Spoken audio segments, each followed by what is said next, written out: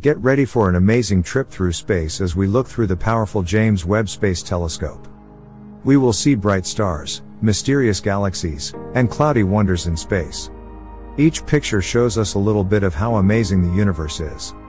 Each picture also tells a story of how space has changed over time. Are you excited? Let's start exploring. First, let's look at a beautiful picture that shows a really far part of space. This picture was taken by the James Webb Space Telescope, which belongs to NASA. The picture shows a really small part of the sky from a place called GOODS South. GOODS stands for Great Observatories Origins Deep Survey South. Did you know that Hubble Space Telescope and other telescopes have been looking at this area too? This little picture has a whopping 45,000 galaxies. A galaxy is like a big group of stars, and each one is different. There's a special program called James Webb Advanced Deep Extragalactic Survey, or JADES for short. That helps us explore these galaxies. What does JADES do? With this picture and other information, JADES has shown us galaxies that were formed when the universe was very, very young, less than 600 million years old. It's like looking way back in time. There are also way more galaxies than we thought there would be before the James Webb Space Telescope was launched. Jades has also found galaxies from a cool time in space history called the Epoch of Reionization. Imagine this time as a big scene in a movie where the universe changes from being foggy to clear.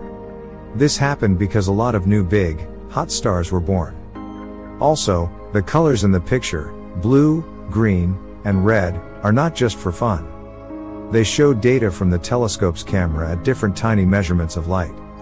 Blue shows data from really, really small measurements green from slightly bigger, and red from even bigger. This helps scientists understand the picture better. Next, let's take a trip to Mars with the help of the James Webb Space Telescope. The pictures show sunlight and shadows on Mars, and also some light that we can't see with our eyes. The pictures show the history of Mars like a big story.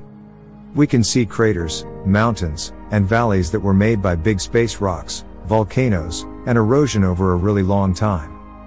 But that's not all. The pictures also show that Mars might have had water.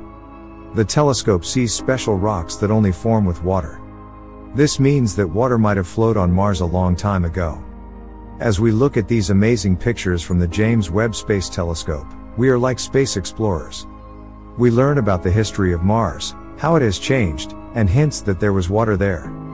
Each picture is like a clue that helps us learn more about the universe.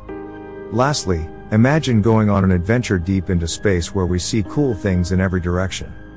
We're going to the Carina Nebula, which is also called NGC 3372. It's like a big space cloud with lots of stars and other space stuff. So get ready to learn and explore as we look through the powerful lens of the James Webb Space Telescope. Inside this star-filled area, the James Webb Space Telescope lets us peek at a mysterious structure called the Keyhole Nebula. As we get closer, we see a big round shape that is part of the Keyhole Nebula. The name keyhole was given in the 1800s by Sir John Herschel because it looks like a keyhole. This part of space is really far, about 8,000 light years away. Which is a super huge distance that's hard to imagine. Near this area is a star called Eta Carinae that shines really bright and changes a lot. The Carina Nebula, where the keyhole is, is also a place where new stars are born. Some of these stars are super big and hot, think of our sun, but 10 times hotter and 100 times bigger. By exploring the Carina Nebula and the keyhole, we are like detectives finding out secrets about space and being amazed by the huge and wonderful universe. There's so much more to find out. Now, let's go to a galaxy called NGC 1365. This is a spiral shaped galaxy that is 60 million light years away, which is really, really far. The James Webb Space Telescope took a clear picture of this galaxy. It's in a group of stars called Fornax, which means the furnace. The picture has swirls of blue and orange colors, showing us where new stars are being born. And where there are areas that might have new stars in the future. On the edges of the picture, we can see areas where lots of new stars are forming. These stars are made from gas and dust coming together. The picture is part of a project called the FANG Survey which is trying to help scientists learn about different types of galaxies close to us.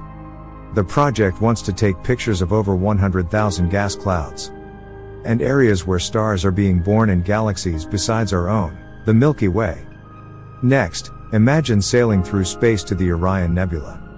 This awesome trip is possible because of two powerful telescopes that can see infrared light, the HAWK-I. That is part of a very large telescope in Chile, and the James Webb Space Telescope. The Orion Nebula, also known as M42, is a famous space cloud where lots of stars are being born. But with these telescopes, we can see even more than ever before. Inside the nebula. It's like a busy city of creation with lots of faint objects that look like planets. These could be baby planets or maybe stars that didn't get big enough. These little objects are all over the nebula, surrounded by dust and gas. We're seeing how stars and planets are born and change. This is like a special ticket to see a show of how space is always creating and changing. We're like space explorers learning new things. Isn't it cool that every time we see a new picture or get new information, there's always more to learn about the universe? The universe is like a big mystery book that keeps getting new pages. Finally, let's look at the Orion Nebula again but in a different way, with infrared light. This is possible thanks to the Vista Infrared Survey Telescope in Chile and the James Webb Space Telescope. The Orion Nebula is about 1,350 light years away from Earth and is a beautiful part of space. Together, these telescopes show us the Orion Nebula like never before. Infrared light lets us see things we can't with just our eyes. So, as we look at these pictures and learn new things, remember we are like detectives in space, always finding new clues and solving mysteries. The next part of this cosmic journey takes us to an awe-inspiring view of the Orion Nebula through the Vista telescope. The telescope's giant field of view can capture the whole nebula and its surroundings in one shot.